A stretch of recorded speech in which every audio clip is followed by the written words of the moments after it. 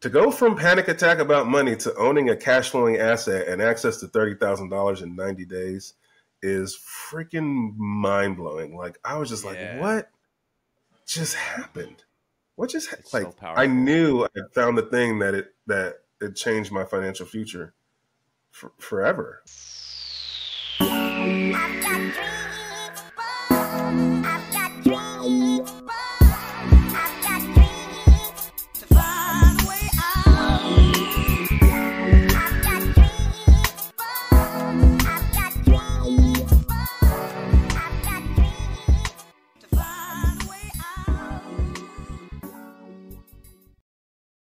All right, today I've got a special guest who's not only a real estate powerhouse, but might just be the funniest real estate investor on Instagram.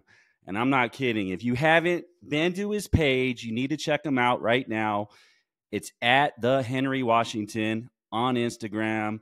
He posts some of the funniest real estate investor memes I've ever seen. And on top of that, he's given out like solid advice. And what really stands out about him is his authenticity. And I think his journey and story can help a lot, a lot of people out there.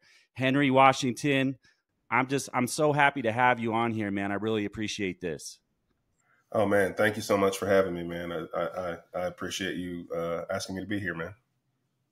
Yeah, man. So I got to tell you that that Key and Peele video, I, it, it took off. It went viral. That had me dying. Like I was sharing it with people that don't even invest in real estate, and they were like not really getting it. But all my real estate yeah. investor friends dying, just dying. yeah, man, that one was pretty. That one was pretty funny. It's definitely some of my best work. It, it definitely was, man. And I, I just saw another one the other day from you. So, yeah, you got to follow this guy. So, Henry, a lot of people know your name uh, from BiggerPockets um, but and they know you're killing it in real estate. They know you have some mentorship programs that you're offering and you just finished writing a book too right? That's correct. Yeah so we'll we'll talk about that but let's go back to the beginning because i think your your story it's it's very similar to mine but you've you've you've taken off in in a much uh, bigger way than I have. And I, would like to hear your story on how you got into real estate in the first place. But before that, like, where were you at in your life prior to taking that real estate pill? Uh, I was working for Walmart. Um, I live out in Arkansas, where Walmart's headquartered. So I was uh, I have a technology background, so I was doing software development and data analytics for Walmart's uh, headquarters. And uh, you know, I did, I did like I did the thing that you're supposed to do, right? I, I, I got good grades in high school so that I could, you know, apply to colleges and get accepted. And then I uh, went to school, went to a private school in Virginia, and got my computer information systems degree and then uh, chose the technology degree so that I can get a job fairly quickly that was actually going to make me some money. And so um, ended up um, in the technology field and um, kind of working my way up the corporate ladder. I was making good money. You know, I was making about a hundred, was making about hundred and ten thousand dollars a year. You know, working for working for Walmart, and this was twenty I left Walmart in 2020, like right before the pandemic hit. I retired um, from that corporate job, and so you know that was that was pretty good money. You know, uh, it, it, you know I'd been making close to six figures for about you know four or five years before that. Um, you know, not as good money now because inflation's gone crazy since then. But you know, at that point, and especially b- before I got married, I was single, and so making six figures as a single man, you know, I felt like you know, I, I, did, I did it. Like I did the thing, and I was, I was working my way up, and and I was supposed to be like getting all of these, you know, uh, you know, have, enjoying this lifestyle of somebody that you know had done the things, done life the way that they tell you to do life as a kid, right?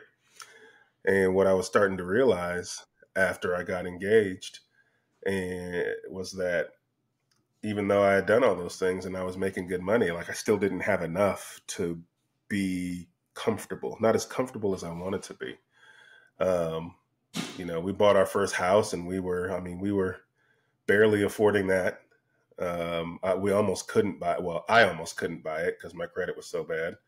Um, actually, I didn't buy it. I, I, paid the mortgage, but my wife's name was the only one on it because my credit was so bad. Um, you know, we if we wanted to go on trips or do anything spontaneous, man, it just really it, it, it took a lot for it to happen, and that's not. I'm not blaming that all on the fact that you know, a hundred thousand dollars wasn't enough money. A lot of it was I spent more than I made. Like I just I wasn't smart with my money, and um, and uh, that the ripple effects of not being smart with my money now didn't just impact me; they impacted my wife as well, and that was really the wake up call. When I couldn't buy the house and like I was starting to see that my poor financial decisions were the the, the harmful effects of them were spilling over onto her it really kind of punched me in the gut and made me realize, man, like you've got to figure out a way to make more money and be more responsible with the money that you have so that A, you're not impacting somebody else by your poor decisions and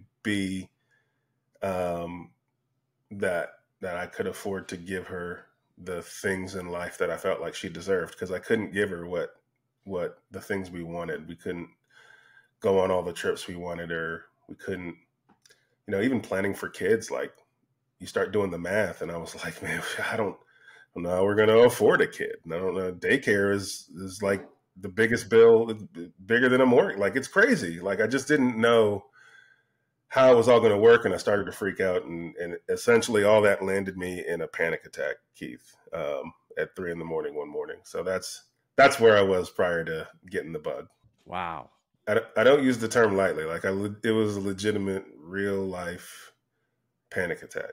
Like it's it's it was intense and scary, and uh, but life changing. Wow, wow. So you were at a crossroads, pretty much in your life, where you needed to figure out. You needed to live. You needed to live your life differently in order to move forward, yeah. right? That's exactly right. So, how did you bump into real estate? well, uh, there's, there's a joke a guy told me once uh, when he when he, when he was introducing me to talk on stage one time. He was like, you know, when you have a panic attack at three in the morning about not making enough money, and you're freaking out, and you don't know what to do. There's only one thing to do, and that's you sit there and you turn to the one place you would think to turn to for some answers begins with the G. Yeah, there you go. Google. you got me there, man. so I googled how do I make extra money, and I and I'm not making light. I'm I'm Christian. I believe in I believe in God. I pray all the time, and so I did. There was lots of prayer as well.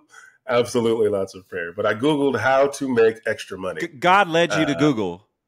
That's right. That's right. That's right. So uh, that Google search of how to make extra money, I like it was just googling things that I'd heard before but didn't know what they mean, like you know passive income and uh, uh, you know. Uh, you know, I was just trying to figure side hustles. Like I was like anything that I could get some extra money. Like how do I figure out what that stuff means? And like as I was googling all of these buzzwords, I was noticing like every search result had something that included an article or a story or a podcast about real estate investing. And I was like, well, what's all this about? And I started, two, two things happened. I watched a video about passive income. And essentially, the, the video I watched, the guy was explaining just a really basic way of what passive income is. And it's just like, hey, you don't need to make a million dollars to be financially free. If you can make enough money to cover your expenses, then technically you don't have to have a job. So if you only need $5,000 a month to pay your bills and you can find a side hustle or a gig or a passive income stream that pays you five grand a month, well, technically you don't have to work. And I was like, you know, that makes a lot of sense. And then he said the way I did it was through real estate. I just I just started buying real estate. I owned He said he owned like twenty or twenty two houses or something like that, and that gave him enough passive income to be financially free. And I was like, in my head, I was like, that doesn't seem like that much It doesn't seem like yeah, a lot. Yeah. Like it seems achievable to me. Now, mind you, like I had none of the things that would allow me to think that that was achievable. I had no money for a down payment. I had a thousand dollars saved up in my savings account. I had bad credit still. Like I didn't have any of the pieces that would make you think that like being a real estate investor was a good idea. But just the whole conceptually, I was like, this seems doable. Like, you know, not in the next, you know, month or so, but like I could buy some houses. I'll figure that part out. And so I was just like, it was the first time where I was like, I think I can do this. Like if this kid figured it out, all these people in all these articles figured it out. Like it's got to be achievable. They can't all be business masterminds. They've got to just be normal people. And so I'm I'm a pretty smart guy. So I'm a I'm just gonna go figure out how to do this. And I just had this overwhelming sense of peace about that decision. And I went to sleep. I woke up the next morning and told my wife that I found out that real estate investing was awesome and we were going to do that. And she was like, cool, let's do it. And um, so then we did all the things, right? We read Rich Dad Poor Dad together. We read The Richest Man in Babylon and uh, we read um, um, The Millionaire Next Door and uh, you know, millionaire real estate investor. Like we went down the list of all the books, right? Uh, and we we read them mostly for the most part. We read them together to kind of go on this journey together and be on the same page. And at that same time of all that research, I did a few things um, that, looking back now, were really smart things. Like I don't want to give people like this thought that I was super smart and figured out exactly how I was going to do it from the start. It wasn't that, but um, I'm just a big believer in in this life you get what you give. So if you want something, you got to put that thing out there into the universe so that God yeah. can return that to you. And if you don't believe in God, that's on you. Call it the universe. I don't care. If you want something, put it out there in the universe. The universe will return the things that go with that. That's just how it works, right? If you if you wanted to get punched in the stomach, if your life depended on getting punched in the stomach right now, and you needed to get punched in the stomach, what are you going to go do in the next five minutes? I'm going to go sock someone so they'll punch me in the stomach. exactly right. You're going to go punch someone in the stomach because that's how you go. You get what you give, right? That's right. I just started telling people I was a real estate investor. I didn't. I never bought a house. I didn't know how to buy a house. I did, I had no. I didn't know where the down payment was going to come from. I didn't know where the financing was going to come from. I didn't know how I was going to renovate it. I didn't know anything. But I just started telling people I'm a real estate investor. I'm buying rental. I'm buying rental properties let me know if you have something, right? Like I just told that to everybody.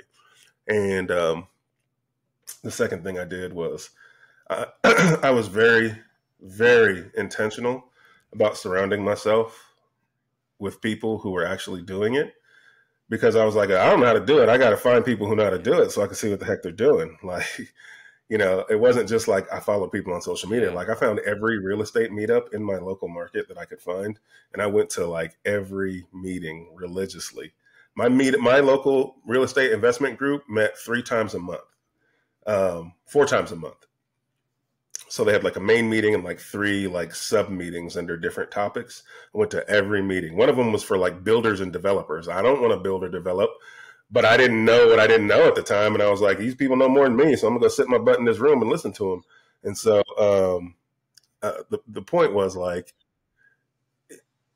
there's you want to use human nature or the laws of life in your favor, right? And so uh, I I just figured if I can get myself around people who are successful and consistently stay around them gonna figure out how to do it. Like that's how it works. That's why your parents tell you when you're young, like, don't hang around idiots because you'll just be the fifth idiot. Like, you know, they tell you if you're, you know, if, if Billy jumps off a cliff, are you gonna jump off a cliff too? Like, most likely you will because that's who you're hanging out with. Like, but if you flip the script and you surround yourself with people who are successful at what you're doing, that paints the picture like who we surround ourselves with paints a picture of like what we believe is achievable. And so like if you surround yourself with people who are doing things that you want to do even though you don't know how to do it, like it, you'll know it's achievable and you won't feel like it's this thing you can't go accomplish. We interviewed a guy on BiggerPockets one time. His first very first deal he ever did was a you know, over a hundred unit apartment complex. And when we asked him, like, what made you want to do that for your first deal? Most people buy a single and then a duplex, and then they slowly work their way up to a multifamily because it's, you know, it's expensive, it's a hard process. And he was like, honestly, like everybody I hung out with bought apartment buildings. And so when it was time to get started, I just bought an apartment building because I just that's what everybody did. Like I I didn't know I wasn't supposed to do that. Right. Like and and so like it's you what who you see around you doing things lets you know what's possible. And so I surrounded myself with other investors so I could learn the process. I told everybody I was an investor. That led me to my first deal. A buddy of mine heard that I was buying rental property. I worked with him. He was a friend of mine. He called me and he said, "Man, I'm in a tough spot with this house, with the house, my with my personal home." He had been renting it out for about a year and some change, and the guy was supposed to turn around and buy it by a certain date because he needed to go buy another piece of property and he needed this money and the guy couldn't buy the house and he was like dude if i can't sell this house in 30 days i don't have the money i need to go buy this other property. Can you help me? It's just dude i'll sell it to you for cheap. As long as i can get xyz amount of dollars out of it then you can have it. I don't care what it's worth. So he was like he was selling it to me for $116000 and it was worth like 165 he was like that's all i need is to sell it for 116 so if you can close on it in 30 days bro you can have it and I was like, all right, I'll do that. and, and and the only reason he even brought that property to you is because you were already in that zone of I'm a real estate investor. This is what I'm going to yeah. do. Right? Yeah, exactly. exactly. So you attra- yeah. you attracted that deal because of what you put in front of you, what you were surrounding yourself um. Yep. And so that that's how you attracted that first deal to you. Now, was it a turnkey property where you could just go and rent it out? I wouldn't call it turnkey, but we did just rent it out. So what the, what happened was he says buy the house for 116. Can you do it in 30 days? And I had no idea how to buy a house at all. And so I just looked at him and I was like, yeah, man, I can do it. and uh, he worked in my same building. And so after I said, yeah, he was like, all right, well, what do we do? And I was like, I'll hold that thought. And I ran back to my desk and I Googled how you buy a house without a real estate agent. And it said that you needed to sign a contract, like a purchase and sale agreement. And I was like, cool. Where do you get a purchase and sale agreement? And so I just downloaded some random purchase and sale agreement off the internet. I put our names on it, yeah, put the home price on it, and we signed this document. That's not legal advice. Don't do that. It's a terrible idea. But it's like that's the mindset I had. Is like I was going to figure out each problem in front of me, and then wor- and worry about the next one when it comes. So we signed the contract, and he was like, "All right, so we're closing in 30 days," and I was like, "Yep." so I uh, I uh, I was like, I need some money because I, I don't have I only have thousand dollars in my savings account. So I was like, all right, well, I'll go to a bank and see if I can get a loan because banks have money, right? And so I walked into the bank that was pretty close to my office, because that's I just didn't know where to start. So I'll go to the bank that's close to my office. I walked in there with the contract in my hand, and I asked if I could speak to somebody about buying, you know, this house. And the commercial loan officer just happened to be in the lobby when I walked in. He looked at the contract and he looked at the address and he Googled it and he was like, man, this is a really good deal for this house. He was like, we'd love to do a loan on this. Um, as long as you got a 15% down payment, we can do a loan. I was like, cool. How much is that? And he was like, it's probably going to be about 20 grand, you know? And I was like, sweet. He's like, you got 20 grand? And I was like, yep. I did not have 20 grand. Uh, so uh, I then went to this real estate network I had from all these meetups I've been going to and was like, how the heck do you guys find all this money to do this stuff? Like I got a deal. And so one of the one of the investors who is now a business partner of mine, but at the time was just uh, another investor we were hanging out with, and he brainstormed with me all these ideas for how to get the money, and none of them were going to work until he came up or until he told me about the idea of a 401k loan. And, you know, I, I won't get into the details of all, how all that works, but it turned out to be the perfect solution to be able to get access to the money that we needed because, um, you know, you can borrow from your 401k and pay yourself back with interest. And I was like, sweet. Well, I'm not going to be paying it back. My tenants will. So that's even better. So, uh, uh, the only catch with that plan was, is that I didn't have a 401k. So oh, I had to I had to go to my wife and ask her to borrow it from her 401k. And so we did that, man. We borrowed it from her 401k. We bought the house. Uh, the person who was living there, um, we raised the rents to market rents, and we said, you know, you can stay if you want, um, but we're going to have to raise the rents. And so that's what he did. He stayed. We raised the rents, and uh, we started cash flowing almost immediately. So um, uh, we didn't really have to renovate it until he moved out in a couple of years. Okay, so that that was your first one, and so you you went ahead and became a, a landlord at the same time. So I'm sure you were probably googling your way through that as well, huh? yes, yes, I was. I mean, yes. like, how do I create a lease?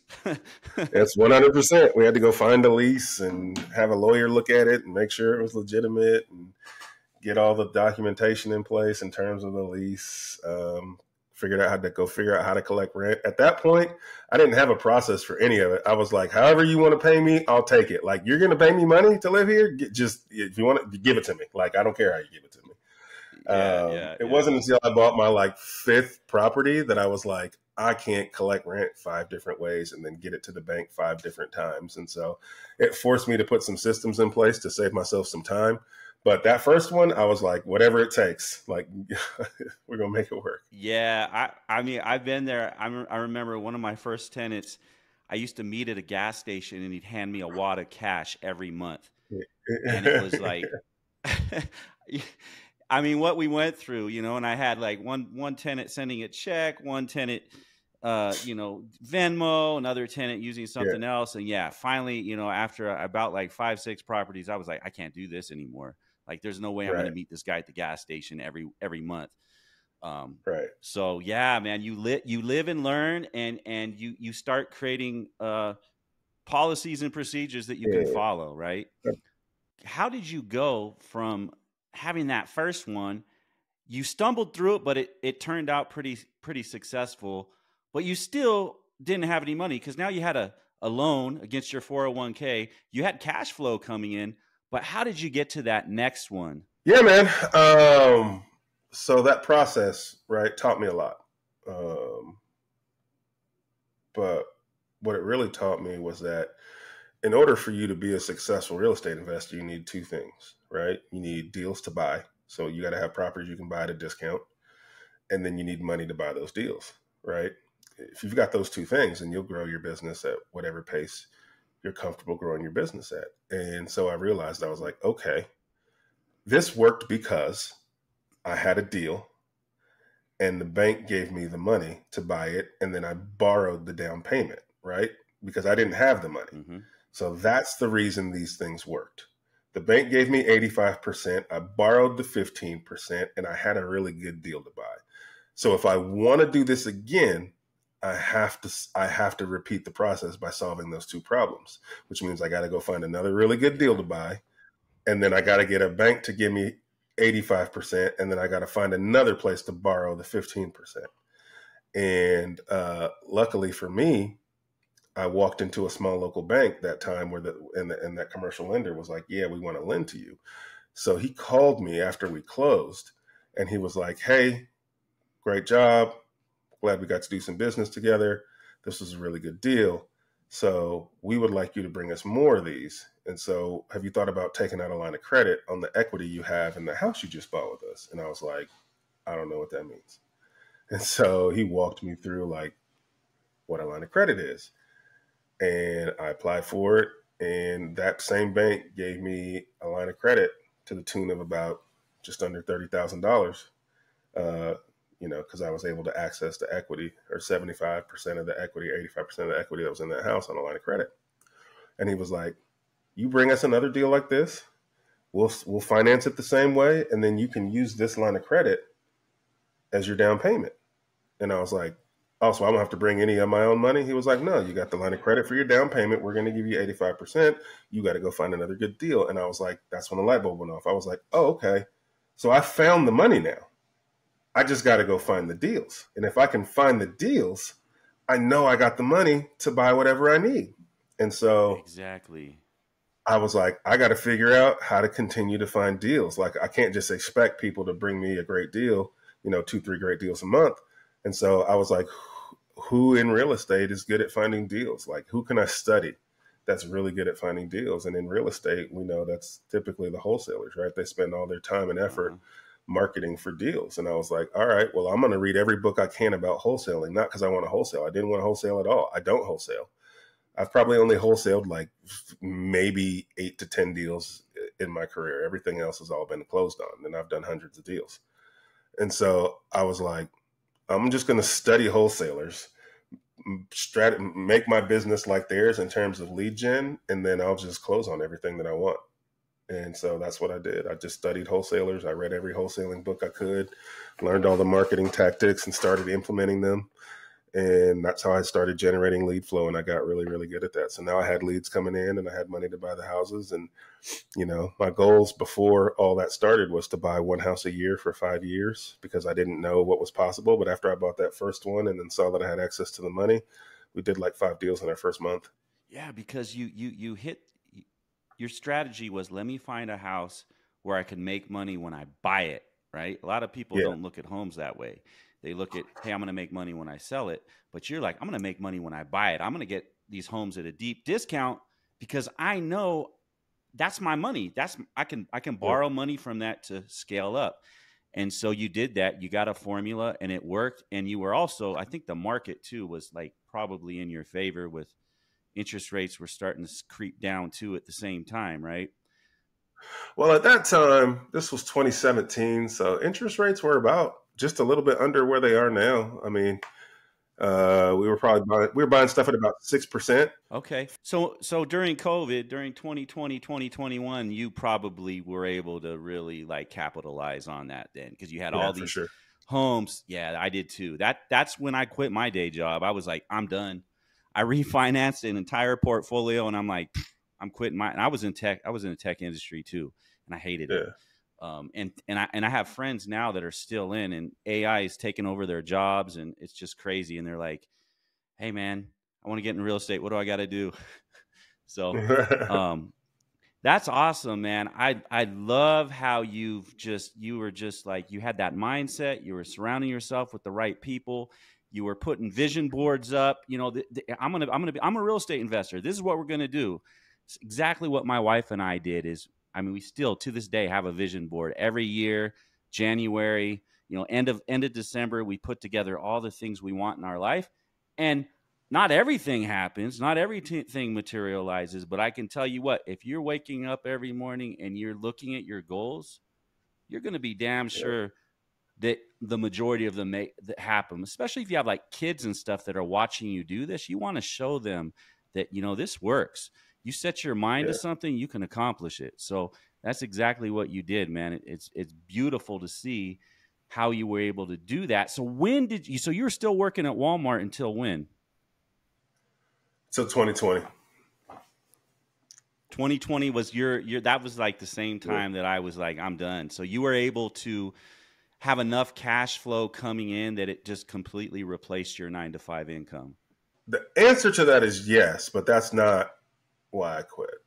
I had enough cash flow coming in well before 2020 to quit my job if I wanted to. Um, but I didn't hate my job and uh, it made me more bankable. So, like, I was able to grow and scale faster because I had my job. Um, because the banks were more willing to give me loans because I had my job, because uh, I didn't have to live off my cash flow. So, um, it didn't limit me uh, and so I, I, kept my job as long as I could. I, I quit. I didn't quit till it cost me money to have a job, if that makes any sense. Like having having the job yeah, so was was costing me money. It was costing you time, probably too, right? More than anything. Yeah, my my earning potential was so much higher outside of the job that I it didn't didn't make sense for me to stay working. You know, they they were asking more of me when I quit they wanted me to put in more hours, and uh, I talked to my wife about it, and I was like, uh, "We got a decision to make because if I give them more hours, that's less time I can spend in the real estate business." And she was like, "Well, how much do you make?" Hourly doing real estate. And I did the math and she was like, Well, how much do you make hourly at Walmart? And I did the math and I showed her and she was like, Looks like you need to quit. It's like, Yeah, it looks like I need to quit. So um, that's what we did. Nice. So now you're just all about real estate. When when did you when did you decide to become an evangelist? Because that's really what you've become is evangelist for real estate. So when did that yeah. like that decision take off where you're like, you know what, I, what I this has helped my, uh, our lives. I want to yeah. help other people out. When did you get to that point? Almost immediately after I did that first deal. So um, after I did that first deal, it was 90 days after I had that panic attack when we closed on that house, and um, and then when my banker called me and asked me to take out a line of credit, uh, and he told me how much it was going to be, I remember getting off that phone and just thinking, what just happened? Like 90 days ago, I was freaking out, literally in tears, panicking because I'm like, my wife's going to leave me because I can't give her the life she needs. I can't, I don't know how to make enough money to do that. Like, I've got this debt, you know, bad credit, and I I can't provide what do I and and then 90 days later I own an asset that's paying for itself and paying me for owning it. Mm-hmm. And now this banker just said you're about to have access to another thirty thousand dollars. Like to go from panic attack about money to owning a cash flowing asset and access to thirty thousand dollars in ninety days is freaking mind blowing. Like I was just yeah. like, what just happened? What just it's like so I knew I found the thing that it that it changed my financial future for, forever. Like it was, and I was just overwhelmed with the sense of like. Don't get me wrong, I was happy. Like, but I I was really overwhelmed with the sense of responsibility. Like I mm-hmm. just sat there and I thought, there's no way God led me down this path and opened all these doors just so that I could learn how to make money and be wealthy. Like that doesn't add up to me. The only thing I could come up with is that he led me down this path and opened all these doors so that I could show other people that they're so much closer to being okay than they think they are. There's got to be other people who are just like in way worse situations than me mm-hmm. financially mm-hmm.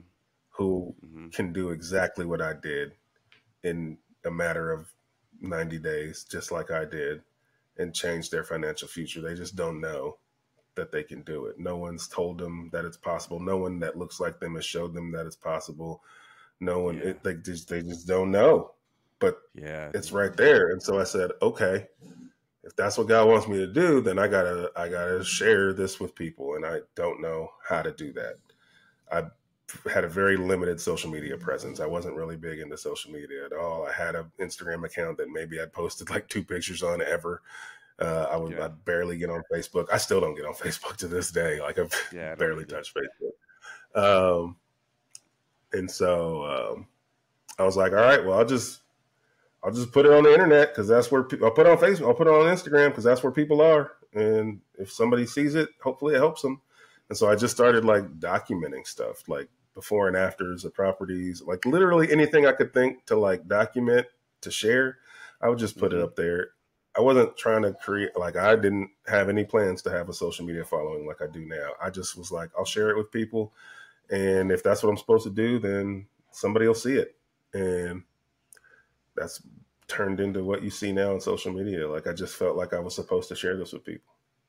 Well, I can tell you, you've definitely blessed a lot of people um, you've inspired a lot of people.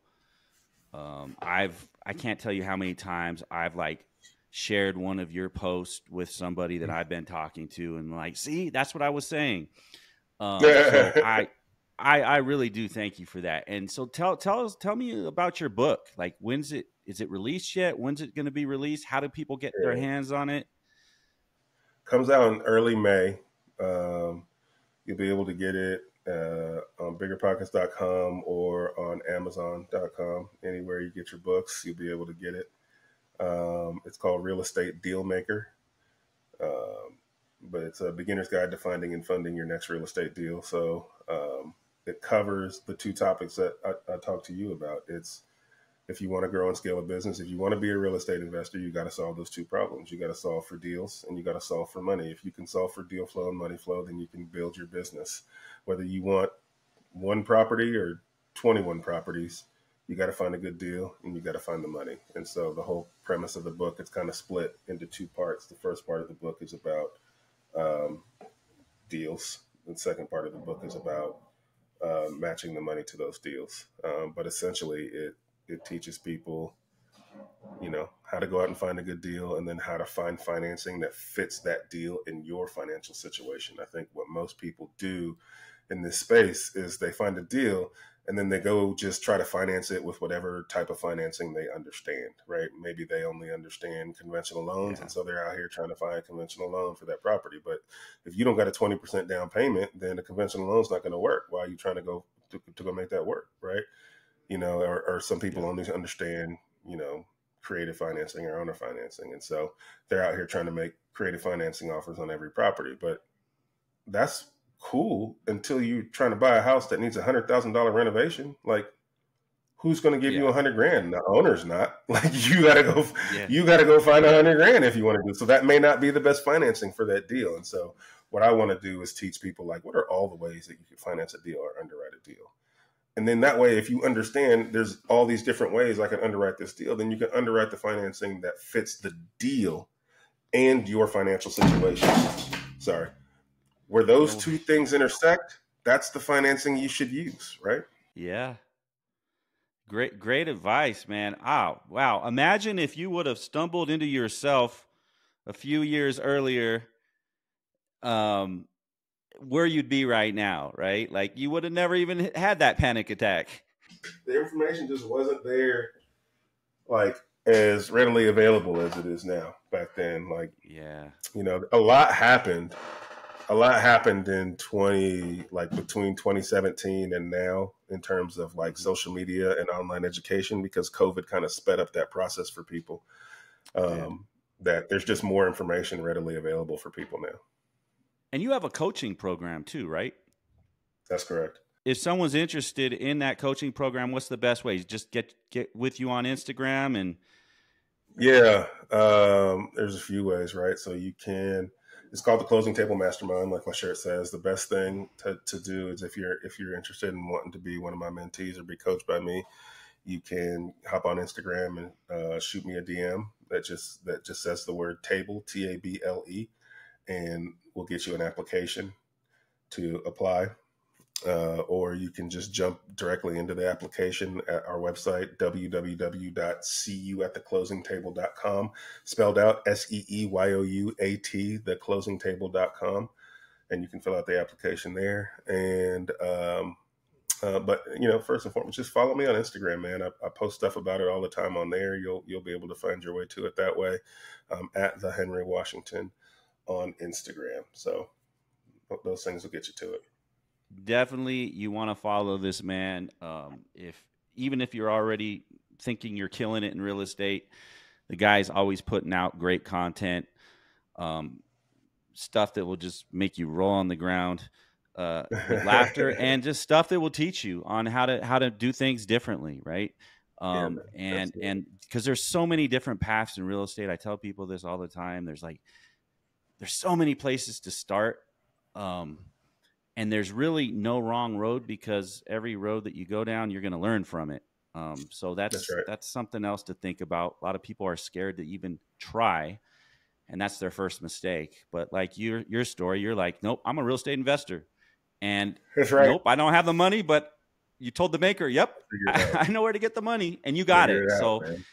you got to just figure it out. So hey, Henry, it was great talking with you. Before I let you go, I always ask this is there any like quote, mantra, or advice you can give our listeners that kind of like it stands in the forefront of your mind that you can share? Um, I'll, I'll say two things, man. Um, you know, I'll give you some practical advice for people um, that you can apply right now. So if you're watching this and you want to get started and you're like, yeah, Henry, you just said go figure it out. That's cool. But like, what does that really mean? If you want to be a successful real estate investor, you have to find a good deal and you have to find the money, right? We established that. So if you're brand new or if you're just trying to get to your next deal, whatever the case is, there's only two things you need to be focused on. Like put the blinders on. Don't do, don't worry about anything else other than these two things. Literally nothing else matters. Figure out what does a good deal look like in my market? Right? Real estate's very market specific. A good deal where I'm at may not be a good deal where somebody else is at. So figure out what does a good deal look like in my market. You can do that by talking to investors who are doing deals. Literally, that's that's an easy way to figure out what people are buying, what they're buying it for, and how they're making money. The second thing you need to figure out is how am I going to go find those good deals? Right? Pick a strategy. There's a million of them. I use direct mail, but you can use mail, you can use cold calls, you can use the use the MLS and make offers on on market properties. There's strategies behind doing that. You can literally Google this stuff. There's a bunch of people that tell you a million different ways about how to find good deals. The super secret sauces, literally all of those ways work. You just have to pick the one that you feel like you can do relentlessly, consistently until it works. Pick one and then do that relentlessly, consistently until you get a deal. Period. Once you get that deal, You'll figure the rest out. Don't worry about the money right now. Everybody's like, well, I don't have the money for a deal. You don't even know if you'll need money for the deal because you don't know what the deal looks like. It could, it could be an owner finance deal where you don't have to put anything down. It could be it could be a wholesale where you don't need any money. Like yeah. you have no idea if you need money or not. Quit trying to figure out the money. Go find the deal. Once you get that deal under contract, then you can go figure out the rest. Then you'll find a contractor. Then you'll find a title company. Then you'll find a, you know, the money you need. Like none of those things matter until you have a deal anyway. So why are you trying to solve for those things before you have a yeah. deal? Go find the deal. Um, the second thing I would tell people is never ever forget that these are people's homes we're dealing with. Right? People live there. They raise their families there. They they sometimes it's the only little bit of wealth they've ever accumulated. These are people's homes. And this is a people business. It's not a real estate business. It's a people business that transacts in real estate. So never forget, like, don't forget to put people first. What we say in our company is we don't always make the best business decision. I'd be lying to you if I told you I was the best businessman there was. But we always try to make the best people decision. And if that people decision costs our business money, that's okay. We can live with that. Our goal is to take care of people. You're going to walk into people's homes and they're going to be trying to sell their house to you mm-hmm. because they need out, because they need mm-hmm. money to solve some problem. If you can solve that problem without buying that house, I feel like we have an obligation to try to do that. That's the responsible thing to do. And if that costs you money or time, that's okay. Another deal's around the corner. Help those people.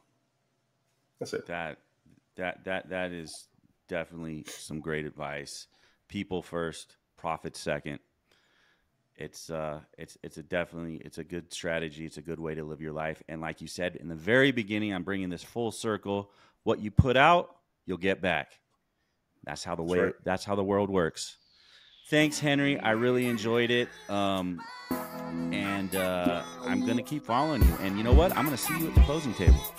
Yes sir. That's the best place to see you. See you at the closing